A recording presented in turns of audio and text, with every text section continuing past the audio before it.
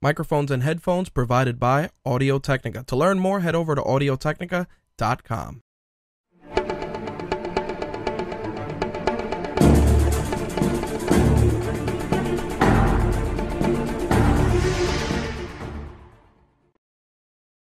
The views expressed on this episode of My Take Radio do not reflect the views, thoughts, or feelings of the My Take Radio staff, My Take Radio advertisers, or My Take Radio content partners. Listener and viewer discretion is advised.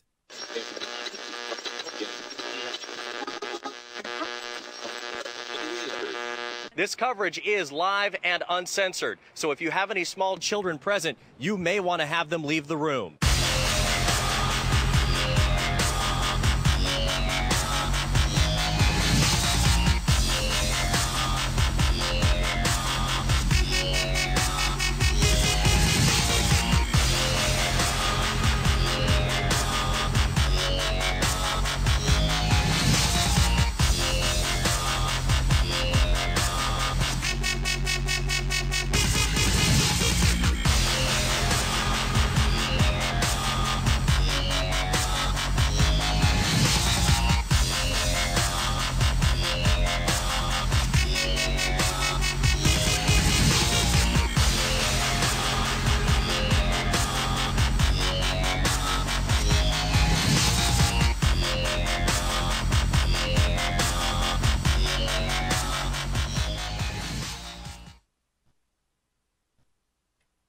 What's up, guys? My Take Radio, episode 266 for Thursday, January 15th, 2015. I'm your host, Rich, and our caller number is 347 324 3541. Again, that number is 347 324 3541. You can listen, watch, and chat live by heading over to mtrlive.com, gfqlive.tv, or you can use the Mixlr app and listen to the show that way. Archived episodes of the show are available on iTunes, Stitcher, TuneIn Radio, and video versions will be available on YouTube and on RageWorks.net. All right, so yesterday, well, I, I kind of want to say a, a, couple of hours ago, um, we wrapped up a really good MMA and wrestling episode of My Take Radio, and as such, you know, we went in the lab and started working on a couple of things, and we noticed, which is, you know, pretty pretty damn awesome that a lot of you guys have been down, downloading the shows via mobile and listening to the shows via mobile. So I definitely want to know from you guys how that experience is. I know that i have been seeing a lot of people using the Mixlr app primarily on iOS, but also on Android. And if you guys are using that to hear the live versions of the show, I definitely would love to hear your feedback because I think that um you know, it's one of those things where we got to definitely try and raise our mobile footprint. And over the last couple of months, I've noticed that a lot of people are consuming a lot more podcasts than they did uh, two or three years ago. I think just because the medium and the terminology itself is so mainstream, um, it's very easy nowadays to tell people about a podcast or an internet broadcast and they get it right away. It's not like in the old days, I'd like to say three, four years ago, where you had to explain it and give people the semantics as to how you got on the radio, how the radio got on the internet, et cetera, et cetera. People pretty much just get it and it works. Um, you know, it's um, one of those things where we're definitely trying to get all our bases covered. I mean, we've been getting a lot more people listening via Stitcher and TuneIn Radio, which is great. Um, hopefully, if all works well, there's going to be another outlet which um, hopefully, if we become a part of it, will be a pretty big deal. So um, I'm keeping that one under my hat. But if I hear something, I'll definitely make sure to share it with you guys. Mortis, I just read that and it was horrifying. but thank you. Um, in any event, definitely, like I said, I want to hear from you guys with regards to how you're listening to the shows. I know some people are fans of just letting it play via YouTube and accessing it via uh, you know, Xbox Live, which you can watch the shows there. You can also watch them on the PlayStation Network using the browser, and that's just another way that you guys can do it. Um, one thing that a lot of people have been talking to me about is the possibility of doing a My Take Radio Roku app and putting the show on Roku.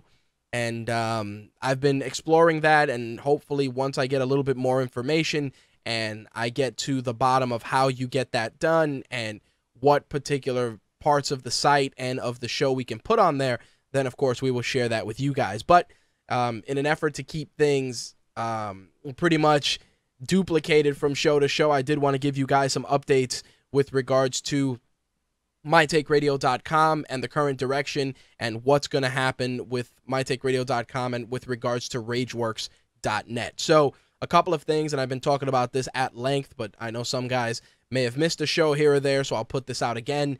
Uh, by the end of the month, by January 31st, uh, the goal is to roll mytakeradio.com into rageworks.net uh, for two reasons. Number one, just maintaining two sites is an incredibly arduous task, especially when it comes to editing audio and video.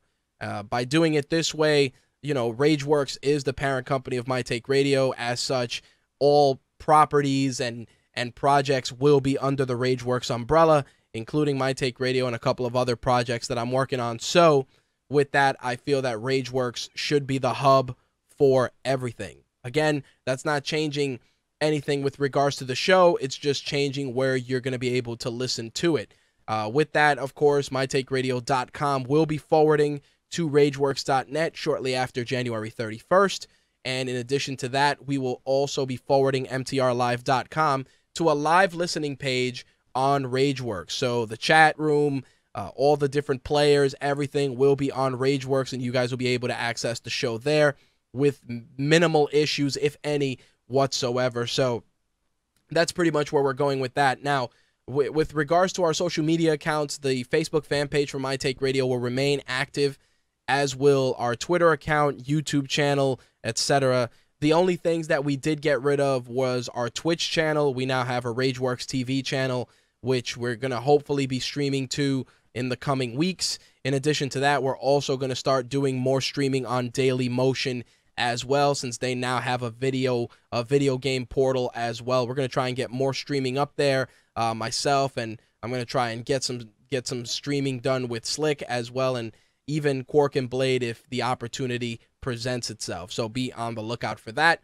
Uh, with regards to content on RageWorks.net, of course, we got a brand new Lucha Underground recap on deck, courtesy of Lucha Lee. We also got some stuff coming from Mortis. Uh, well, correction, from Slick.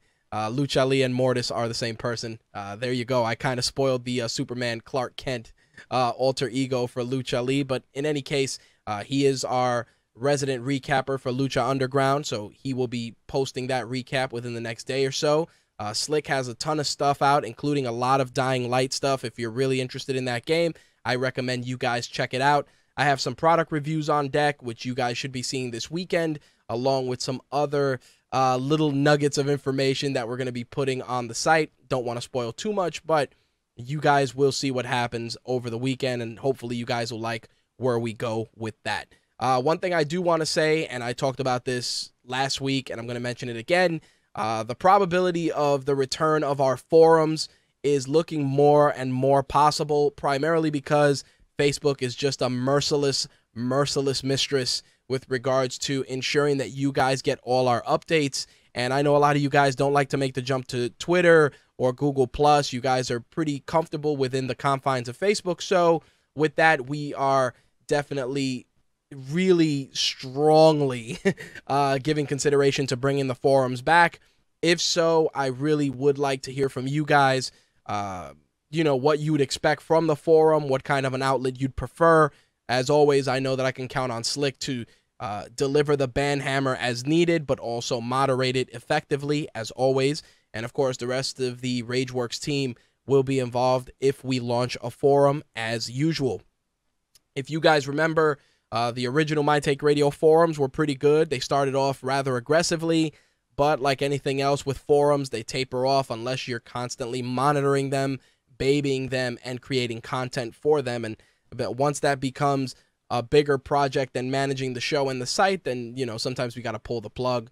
As always, if you guys have suggestions, ideas, I am definitely open to them. And as always, you know, my door is always open. You guys are welcome to reach out via social media, uh, Twitter, Facebook, Instagram, whatever medium you choose. Share your thoughts, and we'll take it into consideration and try to give you guys the best experience possible.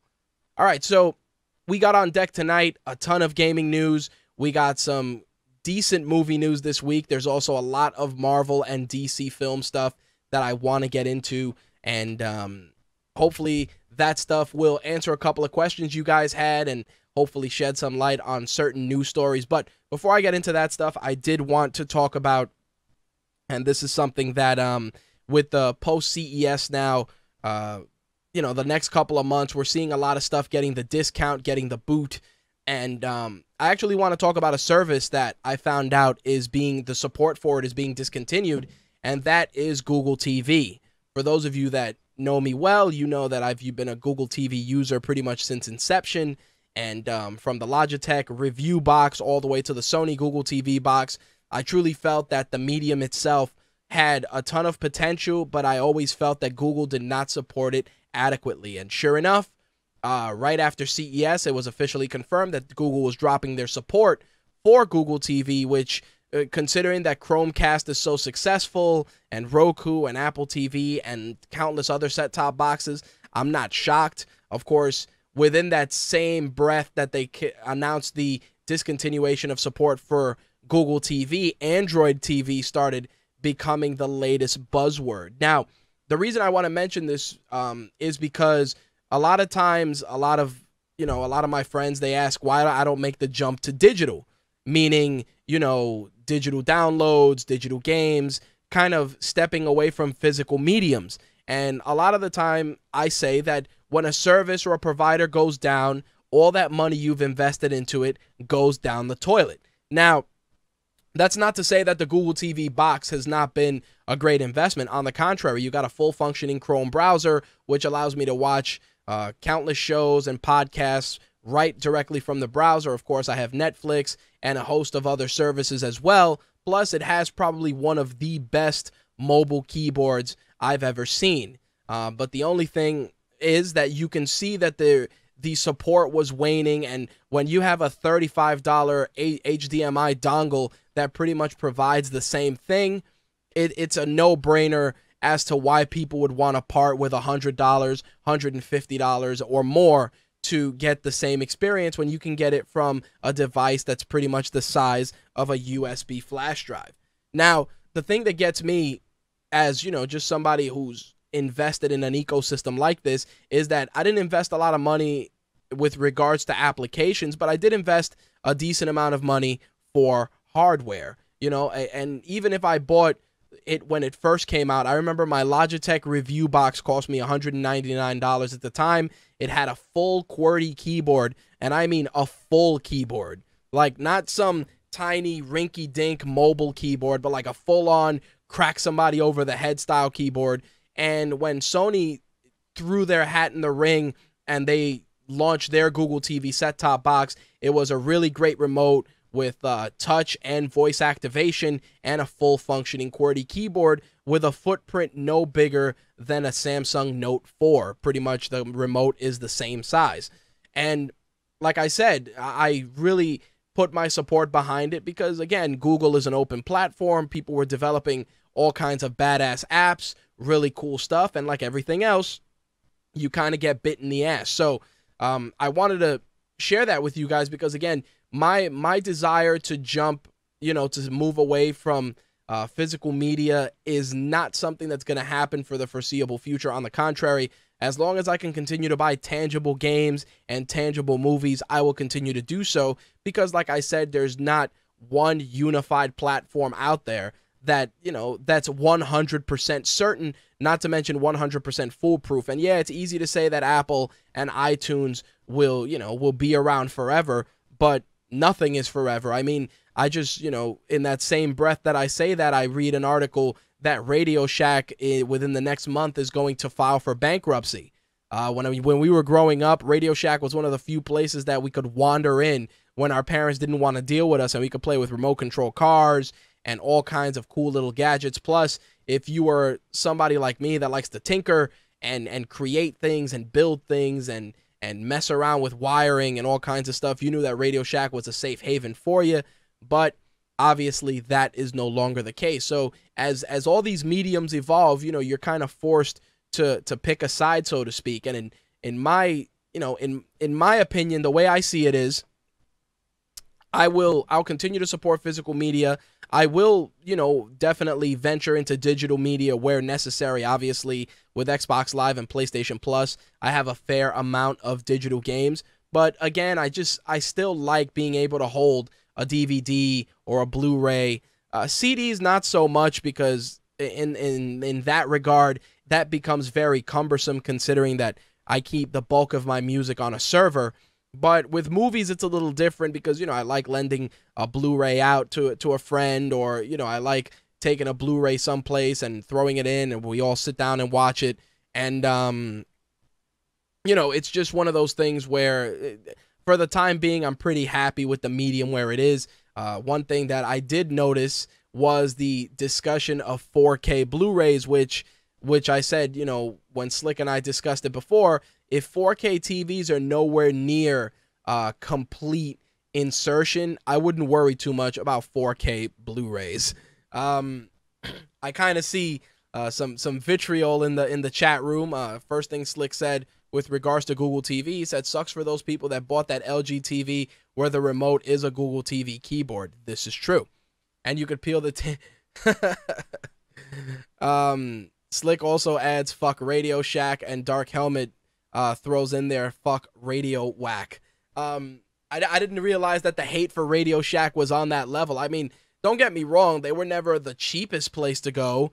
Um, but the you know you're you're still you were still able to go in there and pick up the occasional funky looking wire, or in my sister's case when she had the NES, uh, you know that the AC adapter on the NES was notorious for for shorting out and breaking. So you were always able to go into Radio Shack and pick a uh, uh pick a universal um you know a universal plug that would fit your Nintendo Genesis and Super Nintendo. I I I spent many a time in a Radio Shack buying plugs for all of those consoles. First for me and later on for for my sister as I pass some of that stuff down. So, you know, like I said, it's um it's nostalgic and it's it's it's it's it's a little sad just because think about it. We've watched so many different companies come and go. I mean, it, it, Slick knows as a New Yorker, one retailer that everybody was always checking out was the Wiz. If every if anybody remembers, nobody beats the Wiz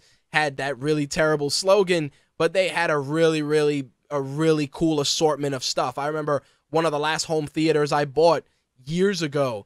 Um, you know, for my mom was from Nobody Beats the Wiz. As a matter of fact, it was on Main Street in Flushing here in uh, in New York City in Queens, and um, you know stores like that. You talk about the Wiz, crazy Slick mentions Crazy Eddie. Um, uh, you know, I I, I got to throw out there even Circuit City. Circuit City had its moments where it was complete dog shit. But even still, at least you had alternatives at the time. I remember when Circuit City was finally going out of business, I racked up buying accessories for my consoles, um, you know, DVDs all over the place. I ended up buying a DVD recorder, um, which actually transferred from VHS to DVD from Panasonic, which had a book value of $550. And for some reason, they accidentally took it out of the box at Circuit City and somebody sold it to me for 125 bucks. And that's the kind of stuff that would happen in stores like that. You know, you were able to go in there and kind of haggle and negotiate and we don't have that anymore. You know, it's either Best Buy or PC Richard. And that's pretty much it. I think PC Richard is probably the last like big box independent retailer outside of something like Best Buy or, you know, Fry's Electronics where which Brian mentioned um you know, Fry, Fry's is a I've never had the uh, the opportunity to check out a Fry's Electronics, but people always say good things about it. I mean, nowadays between Amazon and Monoprice and you know all these other stores, fuck, even Groupon. I got an email from Groupon to buy a 4K TV, and um, uh, you know it was a Vizio 4K capable TV for like nine for like 989. Uh, it had a retail value of 1400, and it's just it's just crazy, like I said, and I, I am showing my age a little bit, but I did want to share that with you guys because you know, seeing seeing like I said, companies like Radio Shack, The Wiz, all those companies going under. It's while to some degree it's the death of big box retailers, to another degree it's it's eliminating places where you could go and play with stuff, you know? Like you go to Best Buy, you walk around, you sit in the home theater chairs, you look at 4K TVs that you may never buy yourself. Um, you wander into Magnolia and play with curved LG TVs that are po- probably showing the Avengers. You know that that experience is slowly but surely dwindling. And you know, as nostalgic as it sounds, it's still something that nobody gets to do anymore. Yeah, you can go to Amazon and buy the the the uh, the cheapest TV possible but you're not getting that same experience of going into a store and walking around all the aisles and messing around with all the stuff.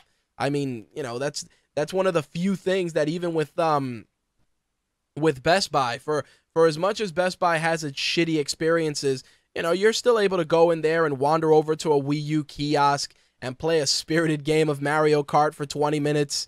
You know, it's it's it's it's insane and for me, being in my 30s, I've seen, you know, the rise of a lot of these stores. Like I said, Nobody Beats the Wiz, Crazy Eddie, uh, Sixth Avenue Electronics. And just like they've risen, I've seen them fall. And I know a lot of guys that are older than me are going to uh, talk about, you know, stores like Woolworth and Caldor and uh, Alexander's, Lionel Kiddie City, uh, you know, big box stores that were big when I was a kid and they were growing up. But, you know, it, it's it's one of those things where yes, it's easy to wake up and sit in front of your computer and, you know, buy a movie and not have to deal with walking into a store and and you know, driving to the store and dealing with the crowds, but sometimes you you want that and you need that because you that's how that's how you end up finding out stuff, uh, building relationships. You'd be surprised. I mean, even now I wander into the Sony Style store. I know a lot of the guys in there. Um, a couple of them listen to the show, and it's always a cool experience. They shoot the shit with me. I mean, just because I don't like the policies in the Sony style store doesn't mean that you know it's not a cool place to wander into and play with all the stuff.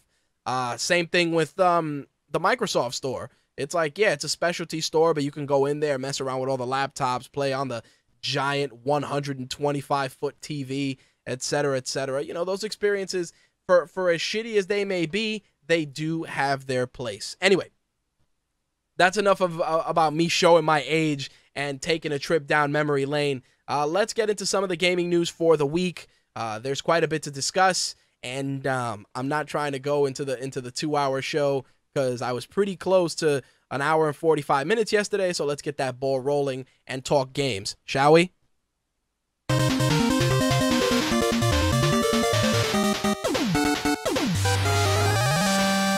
All right, so first thing I want to discuss is the soon to be released Ultra Street Fighter 4 on PlayStation 4. Of course, one of the things with regards to that game that so many people are looking forward to is obviously the conversion of graphics from the PlayStation 3 to the PlayStation 4.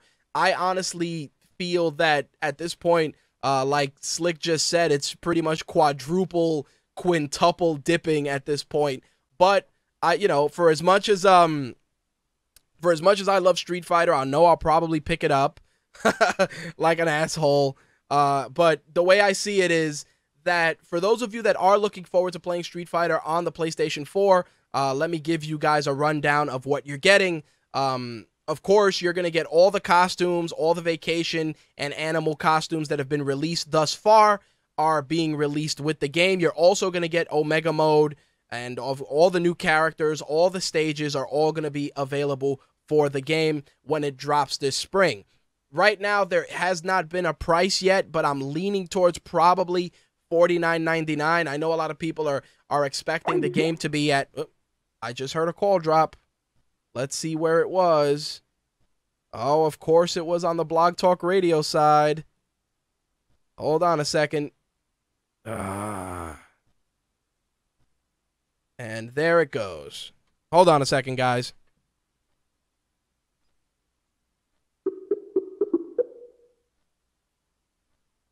Welcome to Blog Talk Radio.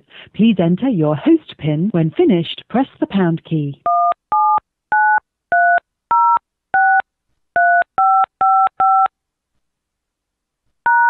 To start your show now, press 1. Since it appears you're calling back into a live show, we are reconnecting you now. Oh, gee, thanks so much for reconnecting me. Thank you so much. Anyway, as I was saying, um, you know the funny thing, before I even continue my thought, last night when I did the show, a big banner was on the top of my switchboard that said, Blog Talk Radio has been experiencing technical difficulties and your call may drop during your show. And yesterday the show ran smooth. Today, that everything is quote unquote fixed, of course, it shits the bed. Anyway, as I was saying, you know, Ultra Street Fighter 4, the expectation is that you're going to be paying $59.99 for the game, but um the thing that gets me is that they're probably not going to do $59.99 because like Slick just said, there's a lot of, you know, quadruple, quintuple dipping and people are going to be slightly soured on it. Of course, those that have made the transi- transition to PlayStation 4 at this point and no longer own a PlayStation 3 are going to be perfectly comfortable with it, but for the rest of us that are multi-console o- owners, you're going to be a little bent out of shape having to lay out 60 bucks for a game. But I'm, you know, the rumblings I'm hearing are between $39.99 and $49.99 and at this case, you know, what I'd probably do is I'd probably sell my Ultra Street Fighter 4 on my Xbox 360 and more than likely I'd probably pick up um I'd pick it up for the PlayStation 4 one because I'm a, I'm a Street Fighter fanatic and because I'm just a glutton for punishment. But in any case, like I said, if you are interested in picking up the game, you will get the vacation costumes, the wild costumes, and the Omega mode as well, along with the quote unquote graphic improvements. We'll see how that goes. Now, it's not every day that we talk, we get into some what the fuck gaming news, but um I do got to say that this bit of news really really surprised me as was the source where it came from. Uh first it was actually talked about on uh, bloodydisgusting.com and then it was mentioned on EGM and that is that there is going to be a brand new Friday the 13th game um being released for consoles, multiple platforms in October. And the crazy thing is that you're going to be able to play similar to how Alien Isolation plays in the sense that you're either you can play as Jason, but you can also play as somebody running from Jason, which is pretty fucking cool if you ask me. The last time that I, I had any remote care uh, or remote care or concern for Friday the 13th was playing it on the NES and Jason was fucking purple. you know, it's it's one of those things where you know, it, that's a nostalgic game in every sense of the word, playing Jason on the NES and wandering from cabin to cabin with, you know, the, the the one the one player whose hair always looked like it was perpetually in one direction and jumping and throwing rocks at random people and um, hoping that you can get the, the the super weapon to fight Jason at X house.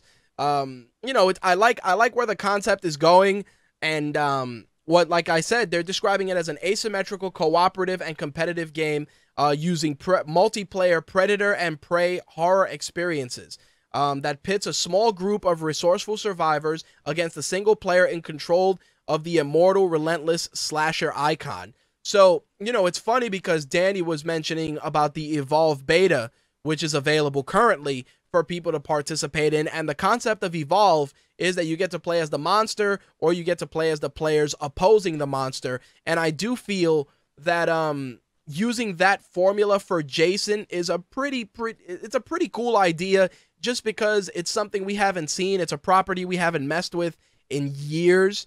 And if it's done right, I think it'll be really fun. I mean, from a multiplayer perspective, if you get a, a group of friends, maybe five or five or ten friends in there and one of them is playing as Jason, you can have a lot of fun. And of course, if you're a longtime horror aficionado like I am, you'll know that you know one of the beauties of Friday the 13th were all the unique, creative, and individual ways that uh, Jason dispatched camp counselors and countless other individuals throughout the films. And if you're able to integrate that into a game, I think it would be pretty badass. Imagine, you know, you think that you're going to be able to hide in this room and Jason just you know, shoves your head through like a closet door and closes the door on it and kills you.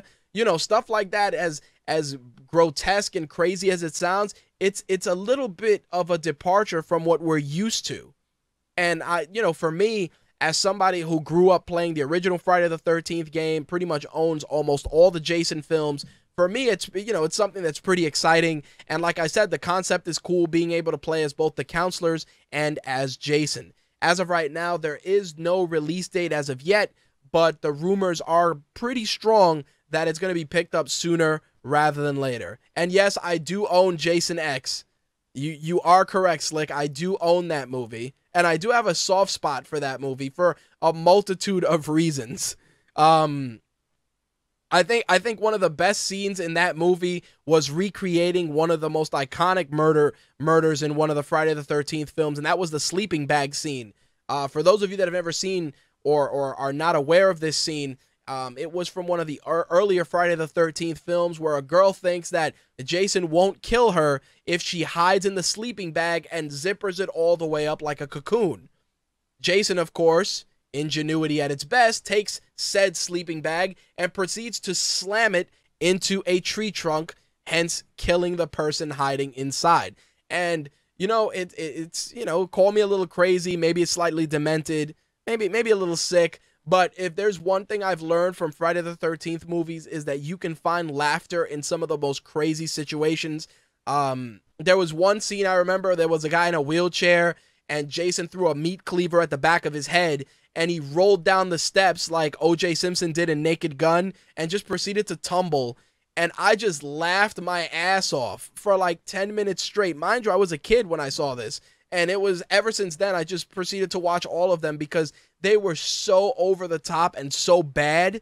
And the thing is, and, and you know, I say this all the time when you're watching films like Friday the 13th, Halloween, any of those films, don't don't ever think that you're going to get some sort of a deep story or something remotely entertaining because what you're going to get is something that's passable and has a lot of a lot of low points to complement the one or two high points. But again, the uh, the announcement for a Friday the 13th game definitely very cool. It is on my radar, and once I hear about it, I will definitely share it with you guys.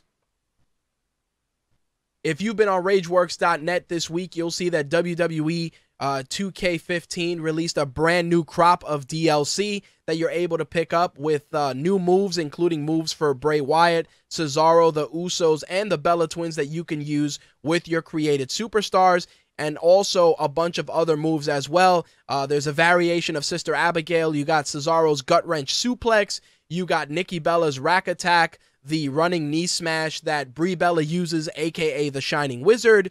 Um, in addition to that, uh, you have a spinning power bomb as well. This DLC pack will run you $3.99. So definitely, um, you know, check it out if you're wanting to um you know, pick it up. I think, uh, for, in my opinion, uh, you know, it's one of those things where if you're really into the creator wrestler feature, you may want to pick it up, but you're really, you know, a lot of people have been pissed off because, like I said, they invested in the season pass, which was twenty four ninety nine, and now for something like this movelet, this move pack, and all this other stuff, it's definitely gonna, you know, it's it's pissing a lot of people off. I've seen people in countless forums. They're like, really, these guys are nickel and diming the shit out of us. Um, I do want to say that the uh, WWE 2K15 Creator Wrestler feature is probably one of the high points of the game. I downloaded a really, really awesome Finn Balor that I'm going to probably use and stream or at minimum capture so I can share with you guys because there's so many creative individuals in that community that some of the stuff they do is just pretty much amazing. Definitely uh, something I recommend you guys check out if you have the game on Xbox One or PlayStation 4. Of course, everybody's talking about Oscar season, and with that, there's countless talk of, you know, just the mediums of entertainment as a whole. And the Writers Guild of America actually announced their nominees for Outstanding Achievement in Writing for video games. Uh, the award honors some of the best scripts from a video game published in the previous year. Now, there's a lot of good um, games that are nominated this year, including Assassin's Creed Freedom Cry, Assassin's Creed Unity, the Last of Us Left Behind, and Alien Isolation. Of course, the winners will be honored at the 2015 Writers Guild Awards on February 14th, which is going to have a, a, simultaneous ceremony in Los Angeles, but also in New York City as well. So, uh, Danny, definitely get that on your radar, so we can we can check that out. Anyway, I I do want to say that I like hearing um you know awards dedicated to gaming that aren't the usual, you know, commercials and well let me let me rephrase that 2 hour commercials for games from developers that have the deepest pockets i think that writing uh, art form and even just the overall execution of some of these games is something that really should be respected and honored accordingly. I mean, if you play games, as you know, me being a fan of the Assassin's Creed series, especially when you're seeing, you know, so many areas that are recreated so well, or for Rockstar, for instance, um, you know, with GTA, countless GTA games. I mean, when they did the, the GTA game that took place in New York City, you were able to wander into areas that were similar to, you know, Manhattan, the Bronx, Brooklyn, and you recognize those areas immediately. Thank you, Slick. GTA 4 was the game in question. You know, you'd wander into the middle of what was considered Manhattan and you'd see where the ball would drop in Times Square. And people, you know, people don't think about that stuff. Yes, you become enamored with the beauty of the game and how the game plays, but um I do think that eh, you know, it's one thing that you have to look at just the deeper the deeper work that goes into these games. I started playing uh, the latest Tomb Raider game, which is in my backlog catalog, and I was really, really impressed not only by the writing, but the length that they went to really try and put Lara Croft in peril, and um, you know the the way that every part of that was made a mini game. I was definitely impressed. I mean, after playing Uncharted, um, it was nice to see that Tomb Raider borrowed a couple of things from the series and and you know I've like I've definitely enjoyed what I have seen thus far. All right, um you guys are to laugh at this, but uh, if you guys are following us on Instagram, Rageworks underscore Rich, um, you know that I share a lot of updates for my Moto 360 smartwatch. And recently I had a face, uh, watch face for Baymax from Big Hero 6. Um, I had the opportunity to see Big Hero 6 and really, really enjoyed it. Um, not only as an animated feature from Disney, but also as a you know a Marvel film also. And the funny thing is that you know I have a very big uh, Funko Baymax behind me, but Big Hero 6 is also making its way to Little Big Planet 3, which is releasing a DLC pack for Big Hero 6 where you can actually buy the costumes individually or as a group. But of course, if you buy the the group, you get a Baymax costume. So the only way to get that costume is to purchase all the characters. Of course, you know, they got to dangle the carrot somehow. But in any case, if you're playing Little Big Planet 3 and you are a fan of Big Hero 6 much like me, you'll be able to pick up that pack which is available now. You know, it's it's it's one thing that I mentioned before with the Writers Guild Awards that they were talking about The Last of Us Left Behind for writing, but it appears that Sony's throwing its support behind The Last of Us by also creating a special PlayStation 4 bundle which includes The Last of Us. It is a 500 gig bundle which is available now with the game for free. It also includes the Left Behind DLC and will run $3.99. So, if you're on the fence about picking up a PlayStation 4 and you are interested in playing The Last of Us, you can pick up that bundle which is available in stores now for $3.99. Now, while we're on the subject of picking up new PlayStation 4s and Xbox Ones and games and DLC, um, I do want to talk about an interesting t- statistic that came out courtesy of the uh, the very hardworking folks at GameStop in the sense that and he, and he, and I say hardworking because their sales actually declined 6.7% compared to the same period last year. Now the reason I say this and I, and I use such sarcasm when referring to the hardworking folks of GameStop is because if you wander into a GameStop most days it's three or four employees standing around. The store's in complete disarray. And you know everything the model that they utilize is completely antiquated. Gamestop now not only buys games cell phones tablets amiibo figures um, skylanders figurines that they resell for practically the same price that they go for uh, retail. But in addition to that, just the model itself of the used game store with regards to GameStop just is incredibly in need of uh, it's it, it's definitely in need of being revamped. And the reason I say this is because think about it. Your sales went down 6.7%. Um the reasoning that they that they're that they're attributing well, let me rephrase that. They're attributing this decline to the decline of the US dollar. All right, fair enough. Um, overall sales have declined for GameStop year over year. Um, they still had $2.9 billion in sales during the holiday season, and sales of new software grew by 5.8%. And the reason I'm bringing this up is because let's let's think about this. And, and I want to pose it to you guys in the chat room. When you guys go to buy new games, where do you guys go? Do you go to a dedicated specialty retailer like GameStop or Game Trader or any of those? Do you go to a mom and pop or do you go to a big box retailer like Walmart or BJ's or Costco? And um, I'm curious, and the reason I say this is because do you opt to go there because of convenience or do you opt to go there for the sake of, you know, do you opt to go there for the sake of just, you know, the interaction? I see that Brian says the sales are going to go away because of digital downloads. Uh, Uriah, nice to see you in the chat, sir, says, I don't like GameStop anymore. Danny says digital downloads, and she adds, no one wants to go to stores anymore. Slick says, I go to Best Buy because I get money back. Um, I like uh, Brian, I agree. Brian writes, it has nothing to do with the value of the dollar. Thank you. That's that's exactly what I was waiting for, and I'm glad that Brian acknowledged it. The fact that you're using the smoke and mirrors, uh, uh you know, of the value of a dollar is ridiculous. And the reason I say this is because a game is $59.99 always. You know, wh- wh- whether you go to Best Buy, Target, wherever, a brand new release title is $59.99.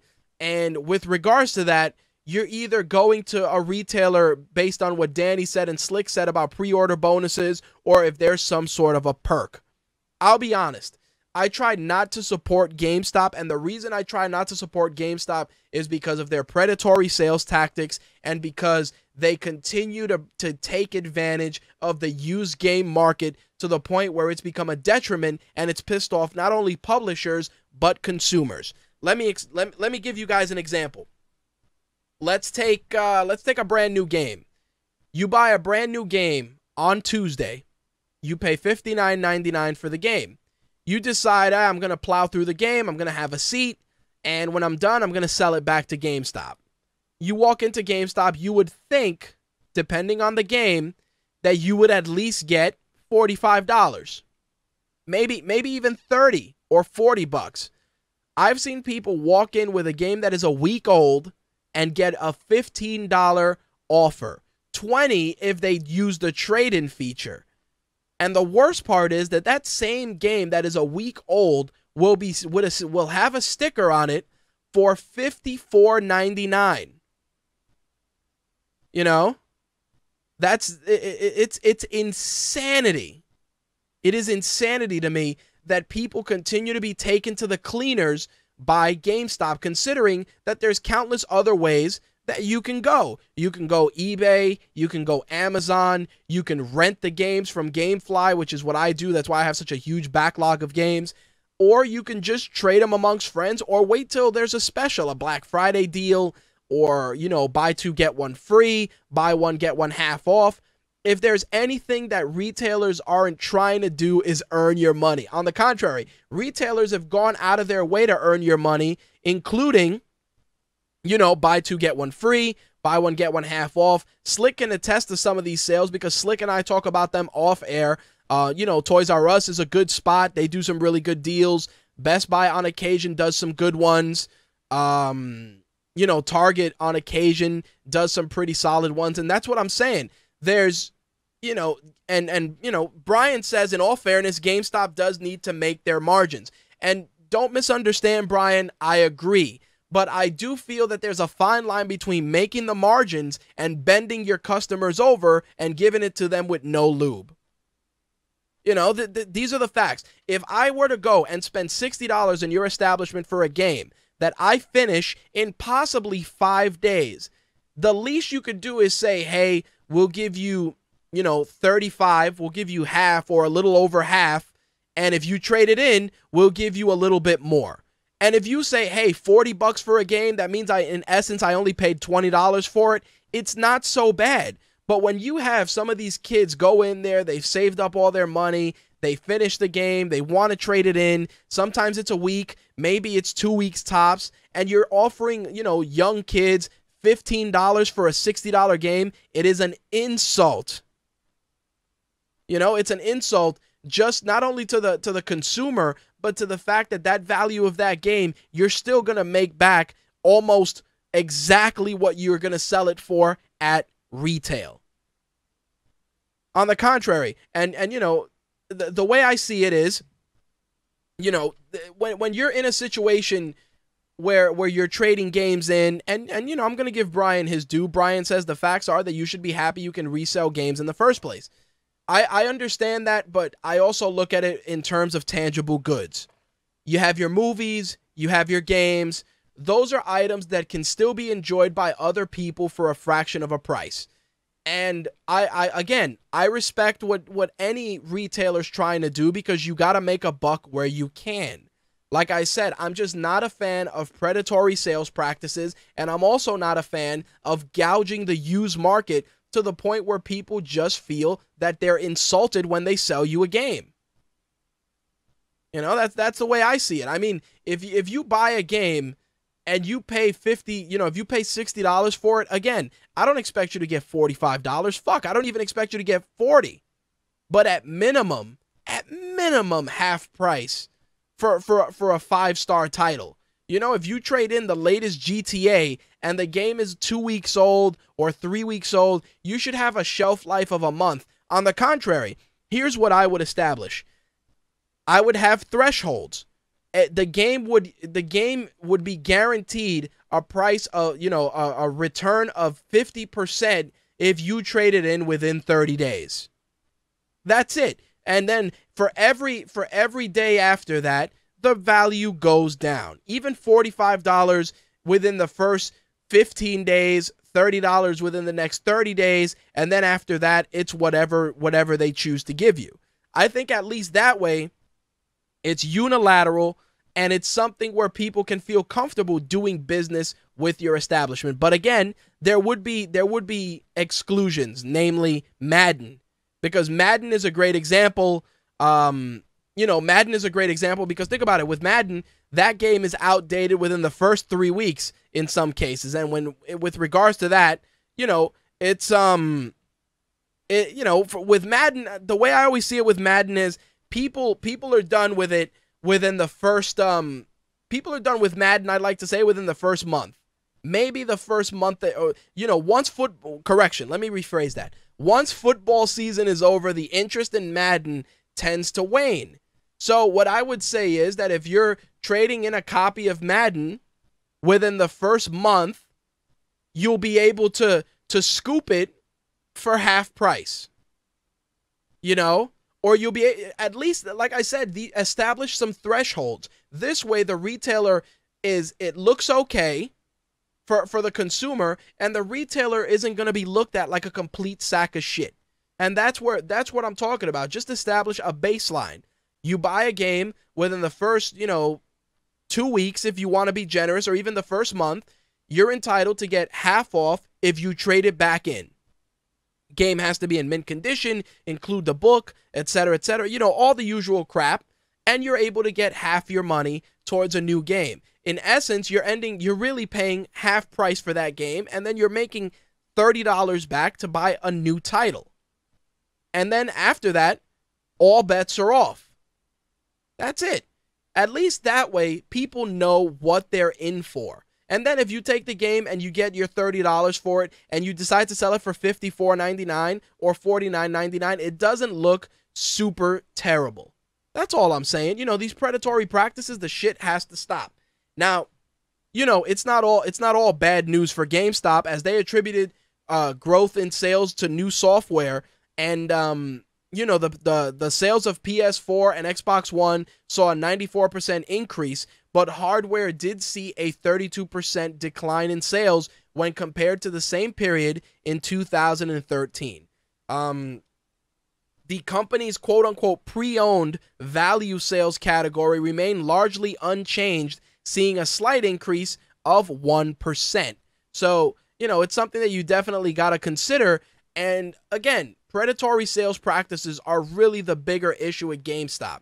And, you know, things like that, retraining, uh, creating a baseline with regards to uh, trading in games would really just make it a, a more pleasurable experience, not only for, for the people that the associates because they'll know how to how to sell people correctly, but just for the retailer as a whole. I mean, it sucks that people are stuck with this stigma. You're well, correction.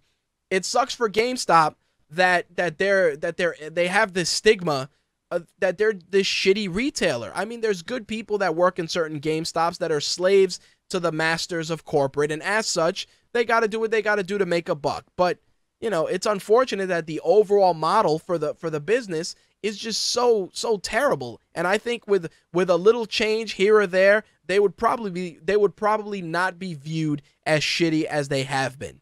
Anyway, I just got word we got a call. Uh, let me uh, let me bring Brian in.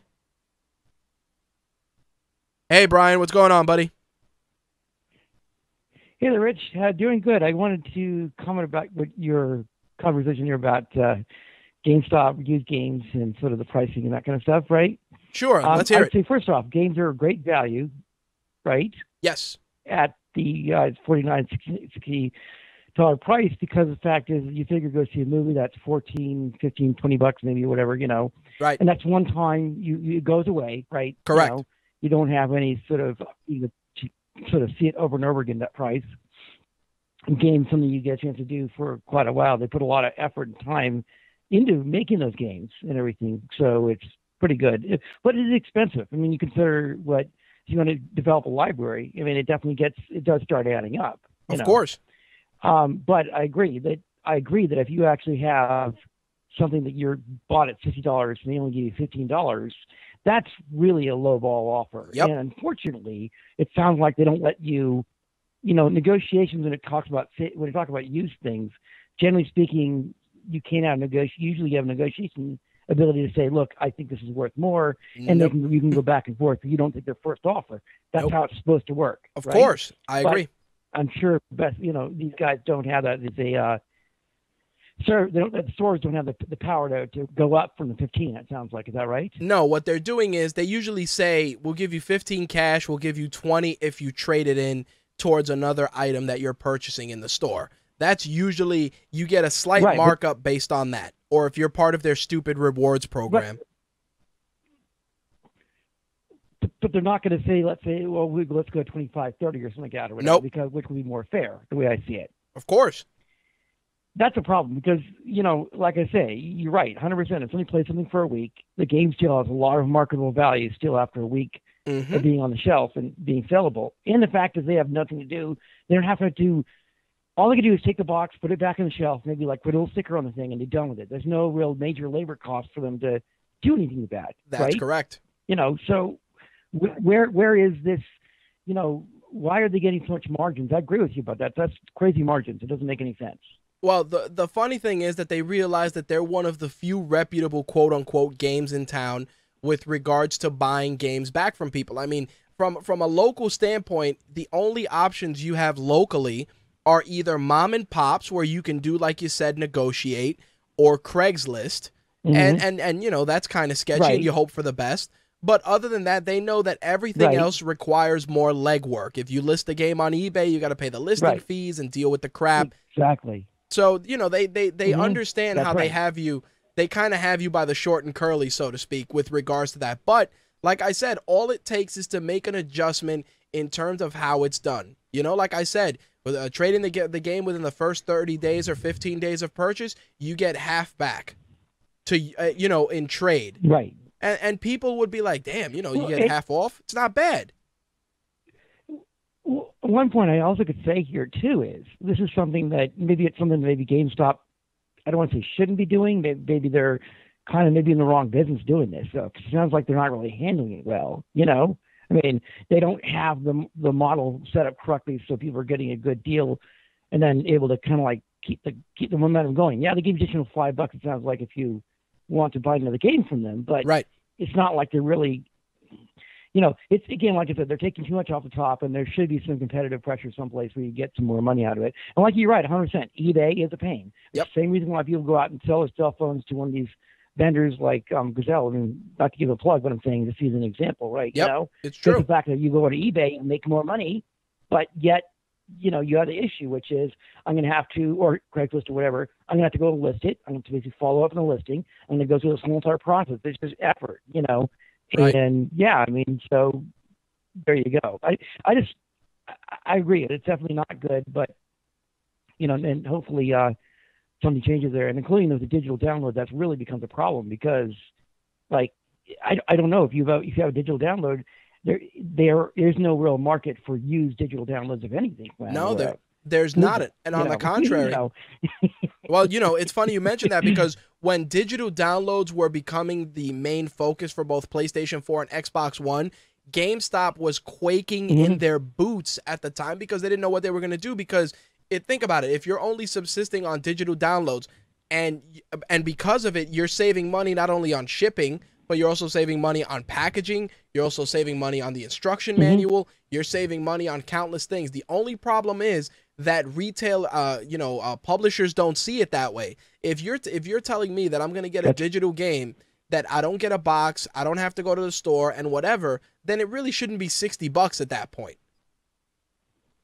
I agree 100 percent too. You and know? that's something that bothers me too because they're not exactly. There's no there's no labor costs. There's no shipping costs. There's no none of that other stuff. Exactly. It's it's easy. They just That's it. run a server. I mean, sure, the server farms may cost a billion dollars. They understand that is expensive stuff to run the server farms, but still, it's easier. There's no question. And then, yeah, yeah, it should be less. Well, you know, that's one of the that's one of the things that that people that are hardcore PC gamers they really like to kind of throw in console gamers' faces because they'll say, you know, you go on Steam, that game that you just paid sixty dollars for, I may pay twenty bucks for it or fifteen bucks for it, or I'll wait for a Steam Really? sale and buy the game for a dollar. It's crazy. it's crazy shit. man. Well, I mean, and they have a point.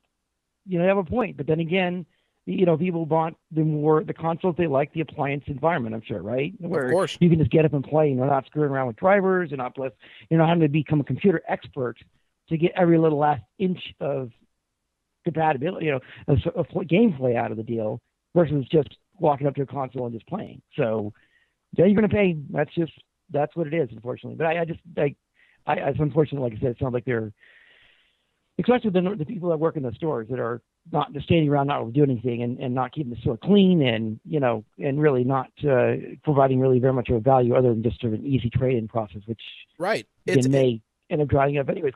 I I feel the digital download is going to take over. It just it's a matter of time. It doesn't seem like it. People buying physical media really does seem like it's going away. So well, I mean, you I know don't what the it is. numbers on it, but I just seem to be No, you're and, and you and you have a point, but you know what the problem is with physical with the uh, with the digital medium, you there's still not a way for you to protect yourself if a service goes out. Like for instance, you go on iTunes, correct. you buy you buy the Star Wars trilogy, and knock on wood, you have Mhm. the movie, you watch it as many times as you want. Five years from now, Apple tanks, and it disappears. Yep. Then you just lost that movie. Yep. Like there's no way for you to Yep. even get that with some sort of a DRM and have it somewhere physically. Well, and that's that's another point. That's another point about DRMs exactly, which is the problem. Which again, the users get no rights at all with that deal, and it's all on the publisher's side. It's the you know they they have to hold all the keys, and like you said, the server goes out of the business, or even they decide, or if they decide just to pull it. I mean, it's not even the server goes away. The deals could change. You Right. know, where they go out and say we're not going to host this anymore. It just may not be available as a digital thing anymore. So you may have purchased it, but it, like you're right, you may not be able to get to it. So I mean, the laws have to change. I agree. I think the way I look at it, really, it's all becomes a question of copyright laws and having people that are a little smarter than the people we have currently working Well- in our Congress and the in, in the government that sort of understands these issues and kind of gets the idea that we have to flip it around the other way because too much right now feels on the other side, which is people who make things, digital, digital stuff they're selling, have got too many rights now where they can just do what they want to do, and us as consumers get nothing, you know, out of Yep. the deal. And it's like, you know, we need, we need the other way to go a little bit the other way. So, like I say, I agree. Have something be where you have a certain amount of time limits on, well, be games or books or whatever, where there's a certain the copyright is available, but otherwise it becomes free in essence, or it starts going down in price or something. I mean, you got to have like some graduated scale there. You Right. know, I mean, Um, i- i- and I don't know what the numbers are. Like I said, you're right. Maybe maybe it's 30 days, maybe it's 15 days, maybe it's a, a month, maybe it's a year. There's going to be some numbers there that'll work for everyone, but the way it's the way it is now, it's not good. So, Well, let me let, I just wanted to call in about that issue. Yeah, before before I let you go, Brian, here's here's a statistic that I'm gonna give you that the uh, the interview made thirty million dollars in just online sales and rentals. Online sales and rentals. I talked about this Wow. last week, and I said that this was partially due to controversy, but partially a well planned experiment. Because think about it, you just made thirty million dollars without having to worry about people cleaning up movie theaters or worrying about people Mhm. selling concessions or whatever.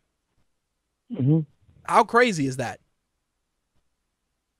Well, and that's the thing, and actually a good point about that because that movie, from what I understand, it really wasn't. I didn't see it myself, but a lot of people are saying it really wasn't that great. And to make that much money on a movie because of the controversy, because whatever, it made. I'm sure it made maybe more money than it would have if it just come to the theaters and people heard about it and then like, oh, this isn't good, and moved on. You know, so. Yep.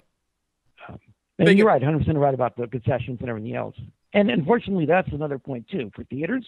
Yeah, those guys are going to lose out also, and they already are. Mhm. It is know, inevitable, so- my friend. But I figured I'd share that with you before I let you go. is. I, I appreciate you calling cool in, Brian. Though. Thanks. You are you're the man. Thanks.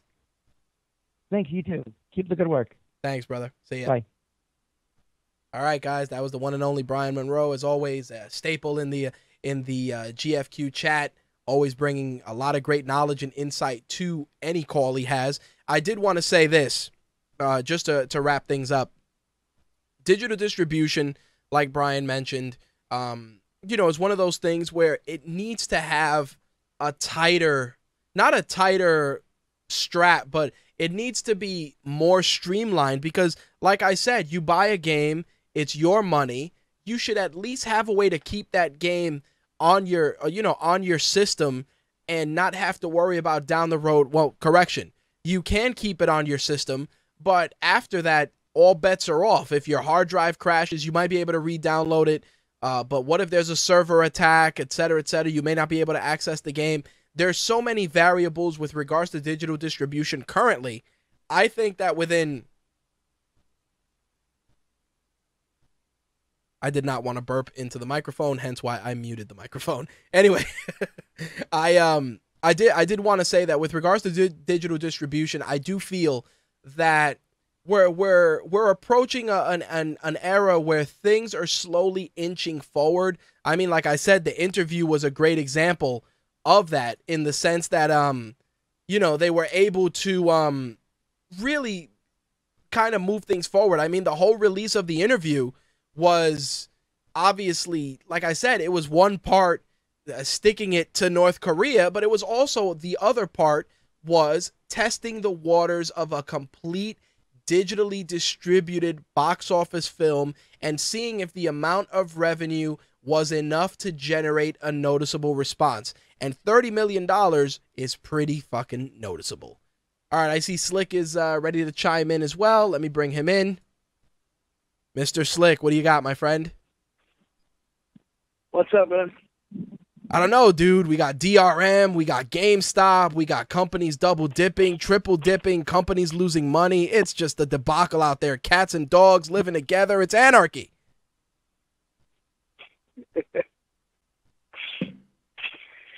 Well, part of the anarchy, you know, it does it does fall back on the evil of GameStop, and um, with the recent uh, announcement of the new 3DS XL, Oh yeah, I really want to get on GameStop because I've been trying to find it, you know, the details, and I really can't. I went to their website, and I really can't find it. But GameStop is offering you a hundred dollars off if you trade in your current 3DS uh, for the for the new 3DS. Sorry, if you trade in the 3DS XL for the new one, you get a hundred dollars off. You get seventy-five dollars off if you trade in the regular 3DS or like a 2DS.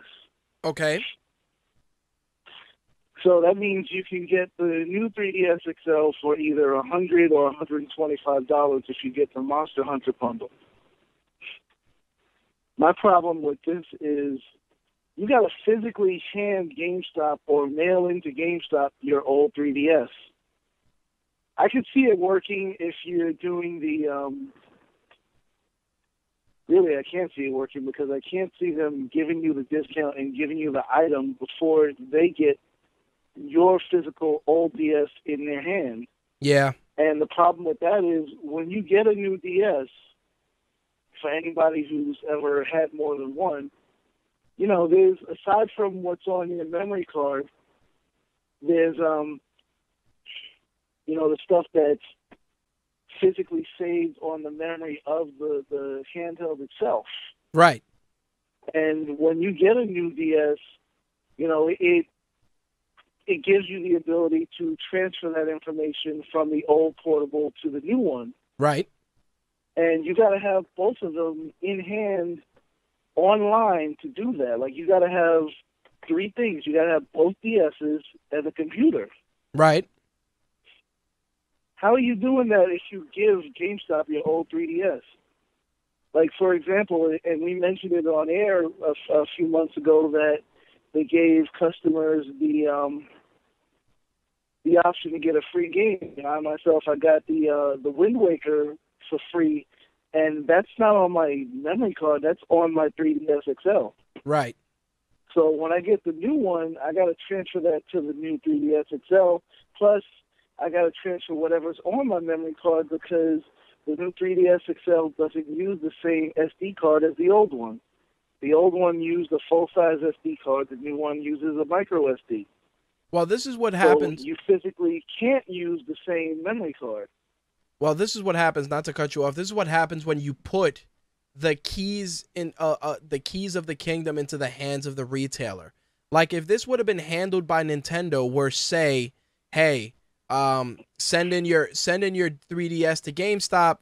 GameStop will give you a code that you will in turn redeem for a voucher to get the new system. Or maybe when you turn your your game in at GameStop, like Brian just said, they do a transfer. No different than when you go to a cell phone store, buy a new buy a new phone, and transfer the save over. At least at least in that respect, Nintendo should be forming a partnership or something with GameStop for that sort of a transition. The same way that you could go and get rare Pokemon, maybe you can create something that would allow them to transfer that data to a new system. I mean, you know what I'm talking about, right? When you go to a cell phone store and buy a new phone, and they go, "Hey, do you want to move your contacts and everything over?" and they plug it into two machines, and next thing you know, boom, everything is moved over, and then you spend the next 20 minutes trying to figure out who Mr. P is. Yeah, but the thing is, and I was I was just correcting what Brian was saying. I'm trying to check it as I'm talking, but if I remember correctly from when I got the 3DS XL, Right. you not only, like I said, you need three things. You need both DSs, and you need a computer because you need to be connected to the internet. Right, but that's what I'm so saying. it's not like you just transfer the information from one console to the next by by like regular. Well, the DS doesn't even have like Bluetooth or anything, and only the new DS has the near field communication. So that's not going to work with just the two devices in store. You gotta have you gotta be at home to do that. No, I I understand what you're saying, but what I'm talking about is if if this was if this was already in motion, let me let me let me throw this out there. If if this was in motion with Nintendo and GameStop, and they said, "Hey, listen, we want to do this promotion, blah blah blah blah blah," Nintendo would in turn say, "Hey, um, you know, given our hardware restrictions and blah blah blah, we're gonna need to find a way around this because you're gonna get an influx of people that are gonna be pissed off that are gonna lose their stuff." here's what we have a solution for you. Whether it's a software kit or maybe it's a little dongle or something, you go plug your systems in. The, con- the you know the dongle does its magic. Boom, your stuff gets moved to the new system. You know what I'm saying?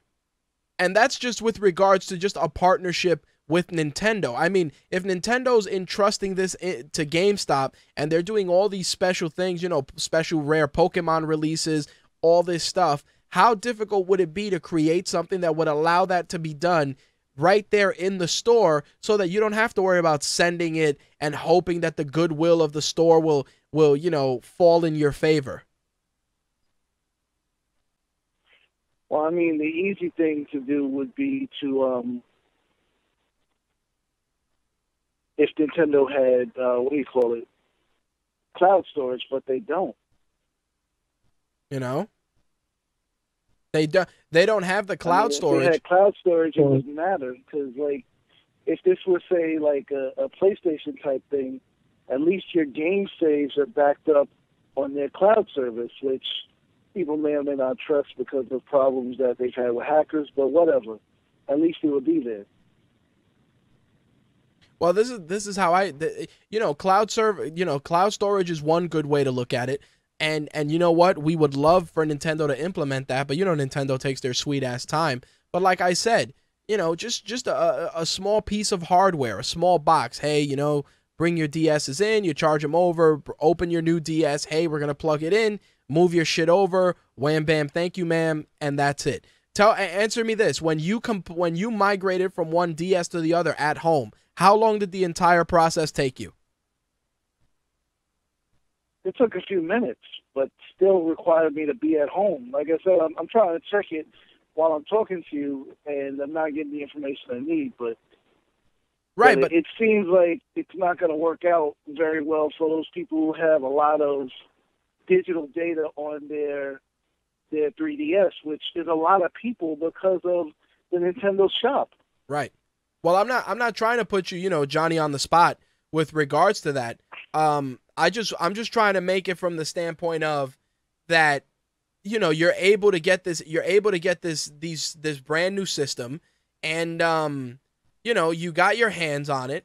And the thing that bothers me is that when you look at it, you say to yourself, "Oh shit, you know, I can't I can't get my hands on my stuff until you know I either I, I find a way to get the stuff off beforehand or I'm at the mercy of GameStop. And this is what I'm saying you know there's got to be a way around it. And Nintendo probably has some something that or at least can execute bringing something to market like that in the future. Because you pose you pose not only a great argument but you also pose something that's going to piss a lot of people off And Brian says the easy thing to do would be to just get both consoles and then sell the older one once you have the data transfer. Yes, I agree, but the problem there is GameStop's not going to give you that hundred bucks for just selling the, the the old 3DS to them versus giving it to you as money towards the new 3DS. right They're not going to give you that value. It's going to be again that whole problem getting the 15 bucks for the the $60 game that you purchased a week ago. Yep. And and and that's and that like I you know we were talking about before that's going to be a matter of just trust as well. You know, like you're trusting this retailer for that. So it's it's just an incredibly an incredibly poor poor and lame thought out plan. It's like, yeah, we're going to do this and it's going to be great and you're going to trade your system in and it's like, "Oh yeah, but wait. You're going to lose X for your troubles." It's insanity.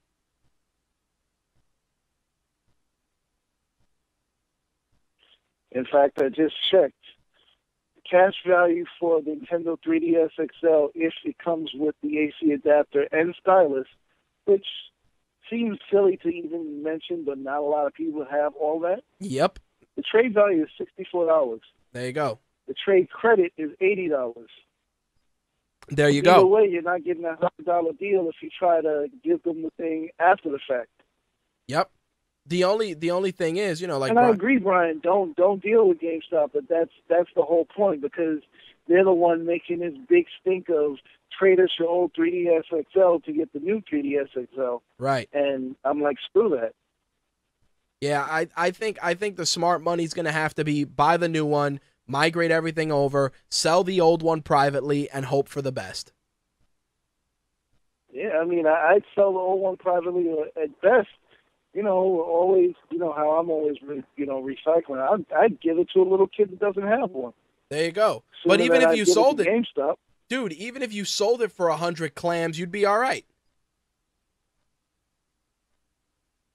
There you go. Which you could do to, you know, like a parent that, you know, is trying to get something for their kid but doesn't want to spend full full price. Absolutely. There you go. Anything else you want to add, my So friend? like- Nah, not on that. Not on that matter. There you go. All right. Um, as always, you can find Slick on Twitter at MTR Slick, and uh, you can always interact with him on our Facebook fan page. Uh, that's going to wrap up the entertain the uh, the gaming segment. We're going to jump into some entertainment. Slick, you are welcome to stick around or call back, whichever you choose. I'll probably call back. There you go. All right, buddy. I'll catch up with you later. All right, man. Peace. Peace. There you go. You know, Slick, Brian, everybody in the chat posed a lot of great questions with regards to not only the uh, the strategies of GameStop, but also in Slick's case, what's happening with this brand new release of the 3DS, which obviously has pissed a lot of people off because of the uh, lack of AC adapter, amongst other things. I want to get, I want to definitely get to the bottom of that before I do the um you know, before I, I do next week's show so I can talk about it at length. So that's the only reason why I have not brought that up. Um, Slick says that the AC adapter is no issue. I have like four DS adapters here. Slick, if it, that's just you, um, you know, it's uh, it's one of those things where, uh, you know, some people are gonna get mad about it for nothing, but um, exactly unless you never had a DS before. Uh, Brian, I see what you're saying about my Twitter account. Uh, just want to let you know that I have my take radio for the show stuff, but you can also follow at rage underscore works if you want to get all the latest updates in regards to that. Uh, I always forget to mention that. Excuse me. Uh, oh, actually, my fault. Thank you for that, Slick. I thought he was referring to me. Slick definitely needs to get his Twitter game up. Uh, to answer your question, Slick, no, I am not drinking coquito on air. I am actually drinking alkaline water. Uh, recommendation from a good friend of mine that's supposed to be good for me. So um, that is, but it is, it definitely is a wine jug. It definitely looks like a wine jug. So I, I'm glad you asked, so nobody would think that I was getting lit on air. But no, I am not drinking any booze just some good old fashioned healthy alkaline water, along with some sparkling Dasani lemon in a can. Anyway, as I said, do your do your research. Make sure that you're getting the most value for your systems, and um, you know, definitely if you got any questions, I'm sure Slick will gladly answer them for you, whether it's on Twitter, on our Facebook fan page, or and on any other social media outlet where you keep up with all his doings. Anyway, let's wrap this up let's get into some entertainment news. There's quite a bit to discuss. I, I definitely want to address the Spider Man rumor, which has been floating around, which I know a lot of people are excited about, but don't get your hopes up too high, folks, because it may not happen. Anyway, let's talk movies and TV, shall we?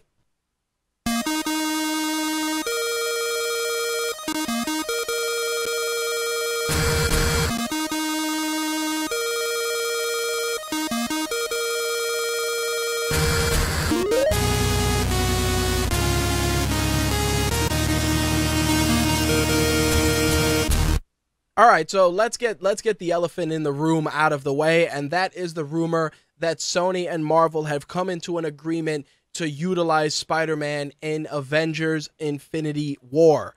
Uh, there's various schools of thought with regards to this. There are people that are saying that it's done. There are people that are saying that it's rumors and speculation. There are other people that are saying that negotiations are ongoing. There's reps for Sony that are doing the old deny, deny, deny, deny. And then there's what I got to say. And this is it. The fact is that, like I said, and Hugh Jackman said in previous interviews, there's an opportunity for everyone to make money in this scenario.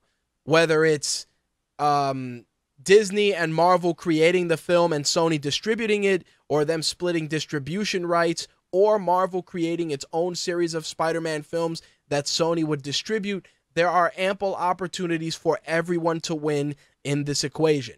Sony, Fox need to realize that the properties that they hold are part of a unified universe. The Fantastic Four, the X Men, the Avengers, Ghost Rider, Blade, all these heroes all, all exist in a unified universe. And the problem with that is that when Marvel farmed out all their properties, nobody thought in a million years that Marvel would have their own studio cranking out their own kick ass movies and making billions upon billions of dollars. Obviously, that is the name of the game. But with regards to that, let's let's play devil's advocate. Let's say that Sony and Marvel come to terms and you see Spider-Man in Avengers Infinity War. Everybody would be excited about that, but there's there's its own set of challenges. If the rumors are to be believed, they don't want to use Andrew Garfield as Spider Man anymore. As such, you have to go through the trouble of casting a brand new uh, actor to portray everyone's favorite friendly neighborhood Spider Man. Sure, no problem. But then you're also running into the whole all right, we're going to make a brand new series of Spider Man films, which of course is going to need to tell you the origin story again, and Uncle Ben getting killed again, and then maybe you know, you can fast forward through half of that and do some other stuff, but it's a risk that you're going to take because Marvel's going to want to do their own spin on their signature character. And people don't realize that, yes, you can fast forward through most of the origin, but the fact still remains that Marvel's going to want to do their character justice. And as such, it's going to require them needing those guys having to go back in the lab and create a Spider Man that is, um, you know, a, a, fit for the for the current established Marvel Cinematic Universe. As as far as Andrew Garfield is concerned, I do feel that Andrew Garfield was a great Spider-Man. I think he's he's probably one of the guys that embodies the whole Peter Parker mentality the best. But I will say this, if if Sony if Sony was to go and share Spider-Man with Marvel and Marvel was to do its own Spider-Man films, the first things I would do is I would ditch Peter Parker in high school. We've seen it a dozen fucking times already. You know, you can tell his the, the passing of Uncle Ben in flashbacks if you want, and maybe advance it forward a little bit, but don't spend too much of uh you know, don't spend the bulk of the movie telling an origin story that everybody knows. It's like Guy gets bitten by radioactive spider. Uncle dies. Great power, responsibility, blah, blah, blah. Here we go, swinging through the neighborhood, saving everybody, punching bad guys in the face, wisecracks, and credits. That's how it should be. Quick, easy, and to the point. But like I said, you're running the risk of, for, for the necessity to have Spider Man involved, there's going to need to be some sacrifices that are going to have to be made either from a casting standpoint for those of you that like Andrew Garfield and you're going to run the risk of losing him. Two, obviously having to deal with the possible retelling of an origin story we already know. So again, there is a lot of excitement on the internet. Everybody's going crazy about it and and that's fine. You know, it's it's a great thing. Don't misunderstand. I think it's great and a unified Marvel universe is important. But again, you're either going to have to acknowledge the existing continuity that Sony has created, or you're going to need to create your own continuity. And with that comes the frustration of another origin story. So, with that, I, I want to take a wait and see approach. Like I say, the rumors change every day. Some days it's yes, Spider Man's in the movie. Other days it's no, no, he's not, not yet. Um, let's take a wait and see approach for the time being and the fact that it's even being entertained gives me hope that within the next five years, we're either going to have all the characters under the Marvel umbrella or the studios are going to be willing to the, the studios are going to be willing to make concessions to allow those characters to be used in various films. Fox, I'm looking at you guys with Wolverine and the X-Men to lead the charge. Don't disappoint me. Anyway, let's uh switch gears. I want to talk about the first bit of what the fuck movie news that popped up this week. Uh, Variety is reporting that um, Andrew Adamson, who did Shrek and Chronicles of Narnia, is working on a film with Sony and Michael Bay's Platinum Dunes production company uh, based on the IDW comic Zombies versus Robots.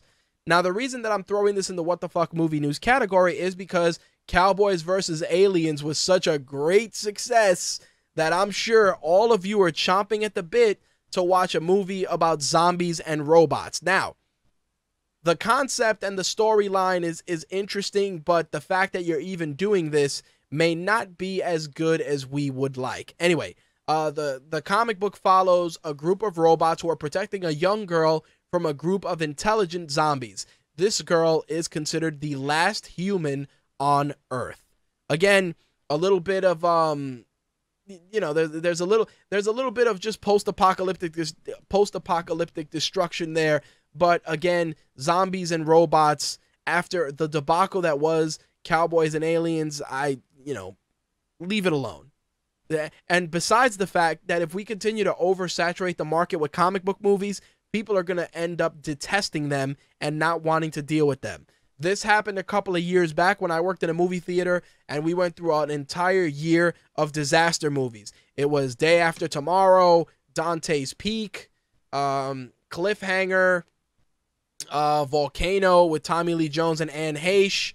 Uh, what else do we have? Just a there was an entire there was a, it had to have been that entire year that it was all natural disaster flicks, and it got to oh Twister, and by the time it was all said and done, people just didn't want to deal with it anymore. So again, comic book movies, uh, it's the easy way out, but there's so many other properties out there um, that I'd I'd really like to see people you know kind of go into some other areas. Uh, I was talking to a couple of friends of mine, and we were talking about just old '80s cartoons. And um, '80s cartoons are are the uh, you know they're they're one of those things that me being an '80s baby, I'm gonna reference a lot. But if you look at a lot of '80s cartoons and a lot of '80s properties, some of those are real easy films that can trans that are well correction those are easy properties that can translate to the big screen let me give you guys an example mask if you guys remember, Mask was a cartoon with um, a bunch of special agents that would drive specially modified cars that would transform, and the villains, of course, had their cars that would transform as well. Now, the first thing you're going to think is Transformers, but let's let's take it one step further. You can actually create a, a pretty decent franchise out of that. Not to mention the fact that forming partner relationships with various automakers to get those cars on screen would be would be really cool to see. And um, again, the storyline was pretty good. It borrows elements of 007. Um, you know, has its fair share of action, and it has uh, you know a ragtag group of characters. And I think that's a property that would be interesting to see on the big screen. Of course, the uh, the really big kid in me would love to see a, a uh, big screen version of Centurions. Which, um, if you're curious as to what that cartoon is about, uh, it's about uh, three guys who use special modified armor uh, related to the elements air, sea, and land. And um, those guys fight uh, a guy who's half cyborg named Doc Terror and his uh, companion Hacker. And, uh, you know, those guys. You could, um, yeah, that was five guys later. Thank you, Slick. It's true. Centurion started with three and then went to five. And um, again, a property that with the effects and all the stuff that's there, um, you know, you could have a good time with that. And the reason I say this is, oh man, Rich, you're giving Hollywood uh, another crutch for them to use. But it's not even that. It's just that, think about it. You've got all these comic movies being cranked out, cranked out constantly. And then you're going to tap the well dry. But at least if you go into some of these other properties, like I said, you know, they're bringing Jem to the big screen. Uh, you know, they brought G.I. Joe to the big screen and it's done pretty well. Um, you know, Transformers, love it or hate it, it's made it's made the studio Paramount a shit a shit ton of money. Um, other properties, I like I said, Mask, Centurions, the Inhumanoids would be really good. Uh, you could borrow, you know, some elements from Avatar with regards to that. You could do a little bit of an environmental vibe with that. Plus, the effects for some of the monsters would be phenomenal. Um, and again, these are properties that a lot of you guys may not know of, but if you look them up, you'll understand where I'm coming from. I'd like to see, you know, just like a family version of the Bionic Six. Uh, that would be an awesome live action film. You can have a lot of fun with that again, and you can even recast that a certain way just to make it more modern. You don't have to have, you know, the white family with the token black kid. You know, you can have just a, a, a family made up of exactly how most modern families are that aren't just one color or one nationality. And um you know you can have you can have a blast with stuff like that. And again i'm going into i'm going into the um you know i'm going into uh, a genre and an age of cartoons that may be obscure to to most you know 90s kids but even 90s kids have their own share of cartoons that they wouldn't mind seeing adapted for the big screen. Um I, here's here's a cartoon that's obscure as fuck but I think would probably be interesting to see on screen and that would be Galtar and the Golden Lance. It doesn't even have to be named that but you can borrow that and do that because that cartoon was practically a movie all its own. I mean you know, if we're if we're gonna go a little higher up the spectrum, you know, you can do Pirates of Dark Water and create a brand new franchise a la Pirates of the Caribbean. Um, wow, the Mighty Orbots. Here's here's one, and this one is a is a no brainer for Disney. How about a big screen version of Gargoyles? How about that?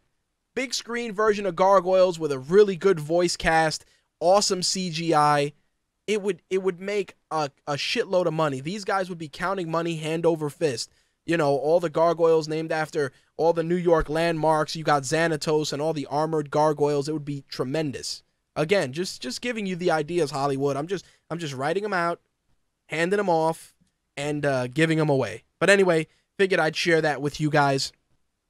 On the comic side of things, um, rumors are getting very very strong that Viola Davis will be uh, Amanda Waller in the Suicide Squad, but she will also be in multiple DC films, uh, much like Samuel L. Jackson with Nick Fury. Of course, one of the gags I've always had about Amanda Waller is that she is Nick Fury in a dress, minus the eye patch. Slick knows this all too well. I think Viola Davis, being the, uh, the great actress that she is, would do the role justice. And seeing her in multiple films and being one of the, the driving forces in a unified DC universe would definitely be interesting. So once it's officially confirmed, of course, I will share it with you guys. As of right now, Suicide Squad heads to the big screen. Jared Leto as the Joker, Margot Robbie as Harley Quinn, Cara Delevingne as Enchantress, Jai Courtney as Boomerang, and originally Tom Hardy was going to play Rick Flag, but unfortunately he dropped out of the film due to other commitments. Right now, all signs are pointing towards them possibly giving the role to Jake Gyllenhaal. Again, not 100% confirmed yet, but Tom Hardy is definitely out of Suicide Squad. So there you have it. Now, you know, I was I was looking at this bit of news and I said to myself, you know, there's there's something that can be done uh, with uh, a lot of properties that isn't happening, especially now with with so many properties going off air. So let let, let me let me rephrase that. Mad Men who many of you know is an AMC staple, is going to begin its fifth season, uh, its final season, excuse me, on April 5th. Now, everybody's bummed about it, but what I've noticed is that as a lot of signature shows come to a close, a lot of internet and, you know, Netflix programming is starting to really gain a foothold in the mainstream. I mean, Kevin Spacey winning a Golden Globe for House of Cards is definitely validation enough that Netflix and just the the online medium is definitely viable as a as a long-term entertainment property. Now, the reason I'm saying this is because right now we're with those shows uh shows like I said Mad Men on the way out and shows like, you know, um uh, what you call it, uh, House of Cards on the come up. There's there's a lot of properties that are being looked at differently and some are even being considered as exclusives for entities like Netflix or uh, Amazon or any of the other companies. One such is um, a film called Wet Hot Summer. Now, if you guys know this film, the original film was released in 2001, but it took place in the 80s and had a who's who of actors and actresses. Um, well, as it turns out, they're actually going to take that series, they're going to take that movie and convert it into a Netflix series with uh, pretty much all the um, the cast members from the original film reprising their roles. Now, this is a who's who of, of actors and actresses, including Elizabeth Banks, Christopher Meloni, Amy Poehler, Paul Rudd, and Bradley Cooper. The series will be eight episodes, um, but as of right now, Netflix is still not 100% confirmed for the order of the series. But still, uh, a property like this, like like you know, Wet Hot American Summer is a is something that you know it's a movie. It came and went. Nobody thought that there would be some sort of a TV series on on the docket, but companies like Netflix come into play and give series like that uh, a second life. I mean, fans of Arrested Development were treated to a season courtesy of Netflix, and people were very, very grateful for that. And you know, there's a lot of shows that get cut off before their prime, and you know, maybe Netflix and Amazon are solutions for shows like that that get cut off before their prime, that people don't give them enough time to gain any traction.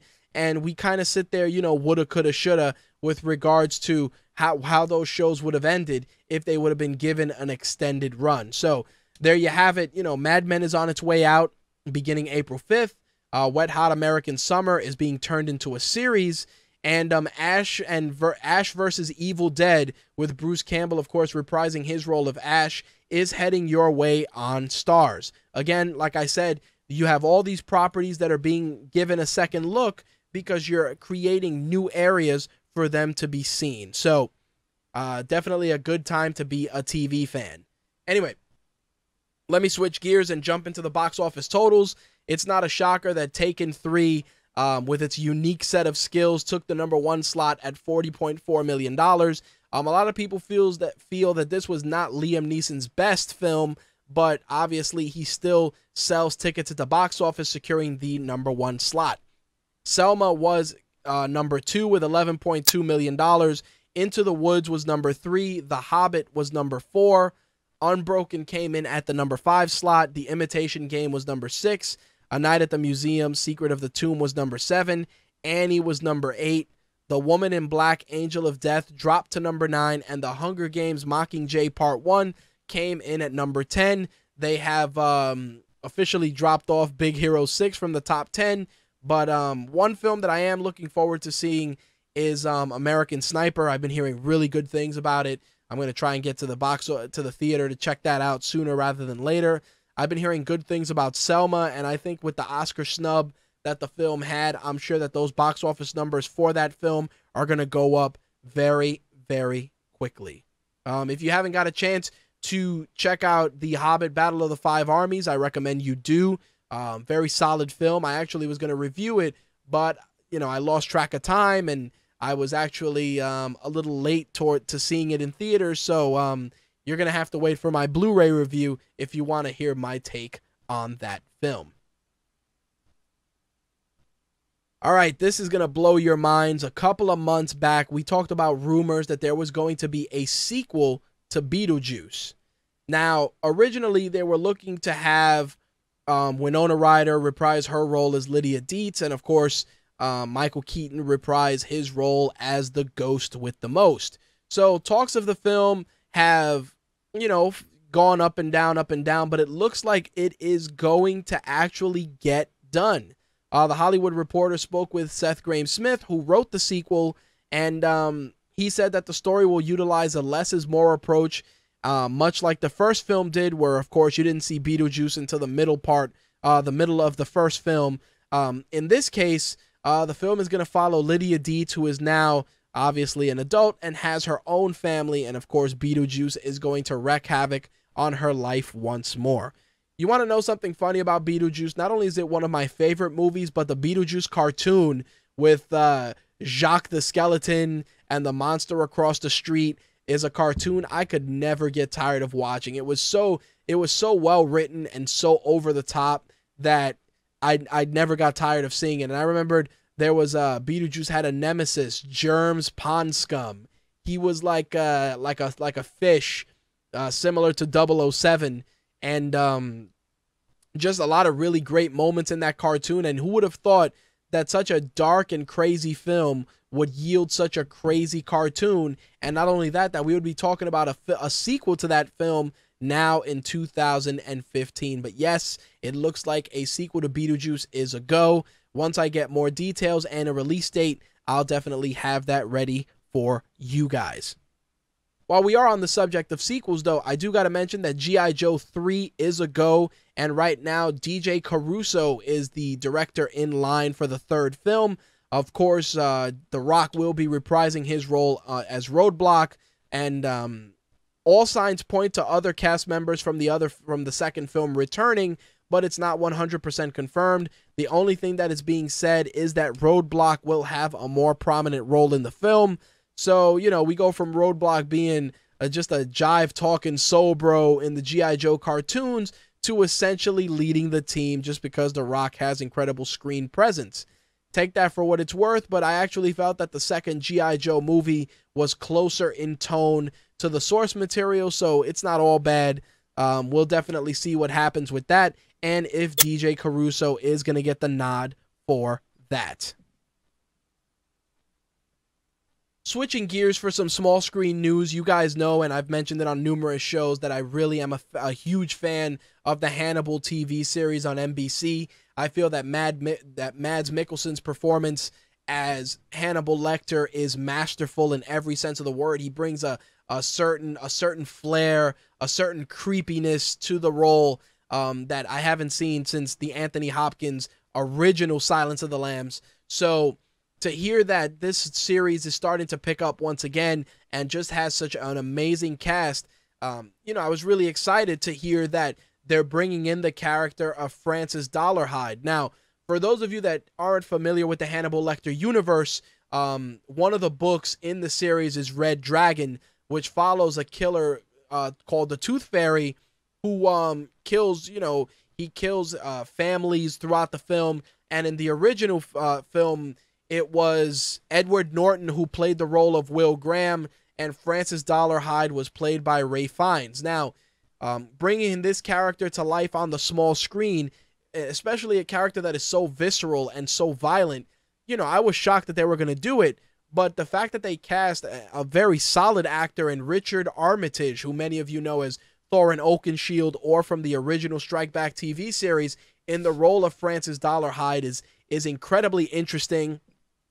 I think that Richard Armitage brings not only, you know, just a, a very, very intense uh you know, an intense demeanor to the to the small screen, but he also brings with him just a a, a more a fan friendly appearance. And when I say that is because uh, Ralph Fiennes played a really good Francis Dolarhyde, but if you notice in Hannibal, if you watch it on NBC, you notice that each character they're I don't want to say they're they're the beautiful people, but everything about the show is so well done from Hannibal Lecter's impeccable suits to Will Graham's more rustic approach to um, you know Laurence Fishburne's uh, Jack Crawford being a stern presence, but also just a, a very classy actor on screen.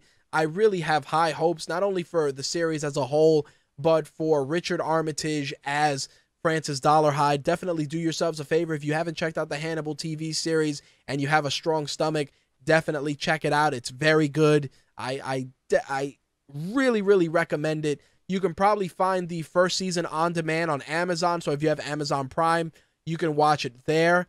And I believe it's also on Netflix. So you might be able to find it there as well. I definitely recommend it. But like I said, it definitely is not for the squeamish in some episodes. So there you have it. Uh, Richard Armitage is Francis Dolarhyde, and he will be appearing for six episodes in the next season of Hannibal. We got a uh, release date for Ghost in the Shell, which, of course, last week we were talking about Scarlett Johansson's casting for the film.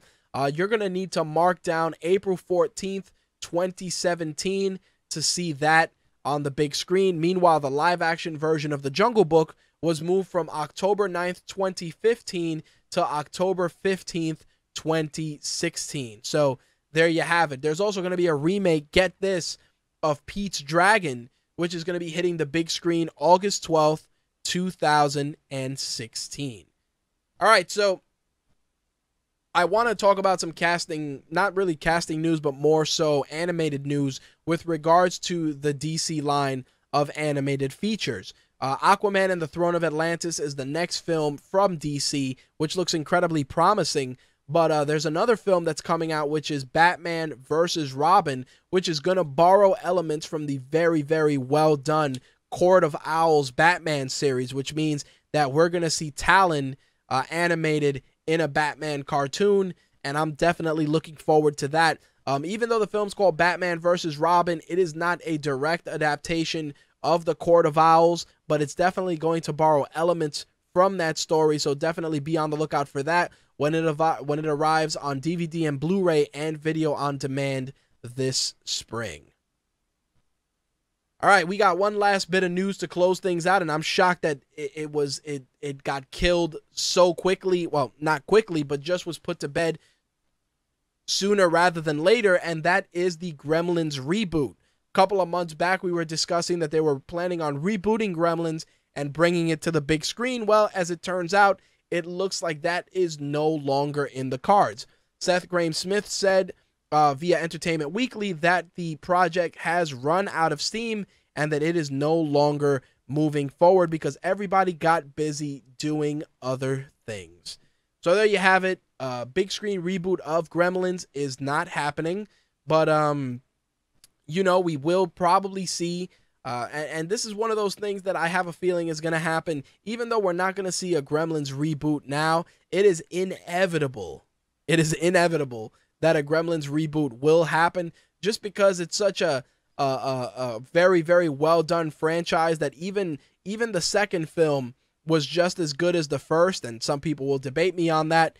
But um I do think that within the next I, I want to say five years we will see a Gremlins reboot in some capacity. And honestly before I see a reboot of Gremlins can somebody do a reboot of Critters during you know when when during the 80s and 90s after Gremlins popularity there were other films that tried to take advantage of the uh you know malicious monster genre. There was Ghoulies which had the real the bald ghoulie that would come out of the toilet who I really liked. Um you had Munchies which was god awful and then you had the Critters which uh, depending on which film you watch some were better than others but the uh, the bounty hunters with no faces was a pretty cool touch, and I always liked that when the bounty hunter the bounty hunters would show up to hunt the critters, they would look at a movie poster or they would look at an attractive woman or an attractive man and take their appearance because obviously that's an easy way to get casting out of the way. Um, I, would like to see it like a big screen version of Critters done in a in you know a light-hearted sort of way. I mean, obviously in, in we're in an era of PG-13 horror movies, so I think Critters would actually be interesting in seeing on the big screen. Plus, effects are a lot better, so I think the creature effects alone would we would be worth seeing. Again, that's wishful thinking on my part. Don't pay me any mind because it definitely was not one of the greatest movies ever. Just a movie that has that I have a soft spot for.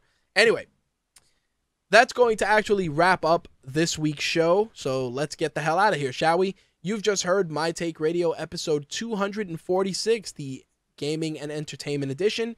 Um, as always, you can listen to live episodes of My Take Radio every Wednesday at 11 p.m. Eastern for MMA and wrestling, or every Thursday at 11 p.m. Eastern for gaming and entertainment.